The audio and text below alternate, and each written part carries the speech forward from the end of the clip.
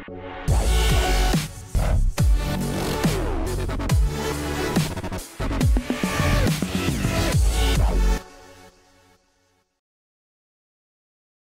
guys, uh, welcome to my video on portable chest x-rays. So, are you having trouble with the portable chest x-rays? Do you find yourself taking longer than usual to set up and get your image?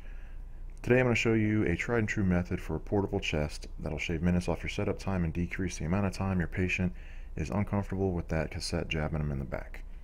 This is definitely helpful for those geriatric and or extremely kyphotic patients that has their spine coming in direct contact with the cassette.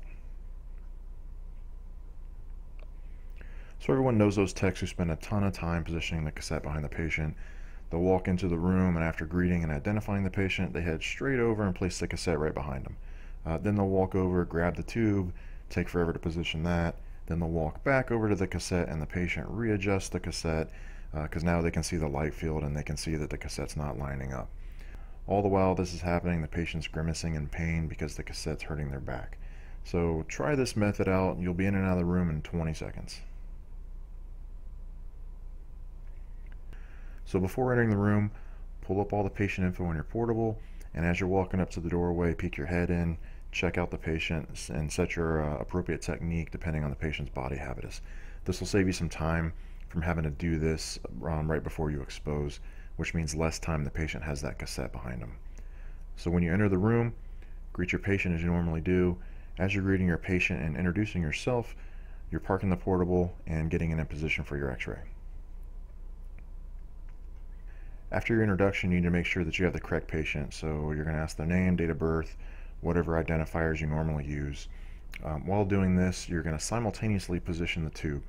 If the patient's not sitting upright when you walk into the room, you can still park the portable in position and walk around, sit the patient up while you're introducing yourself and identifying the patient, then come back and position the tube.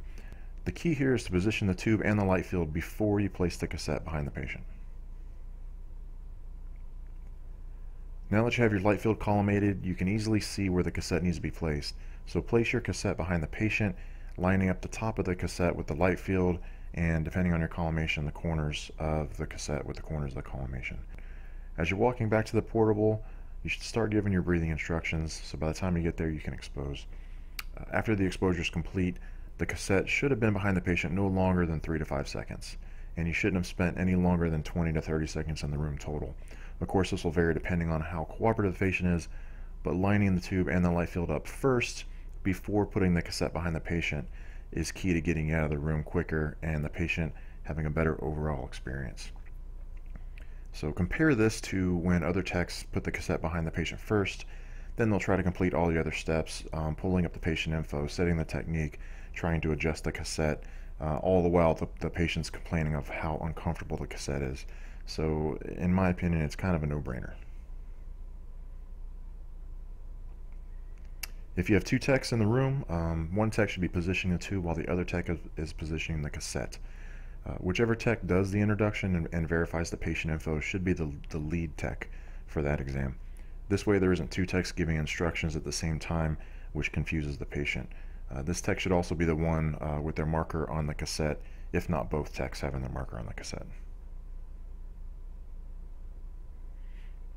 So ladies and gentlemen, that's it. Uh, I hope this video helps you out. Um, if you like the video, smash the like button and share with your friends. If you want to see more videos like this one, visit bariumjunkie.com, pick up some merch, and help support this channel. Thanks.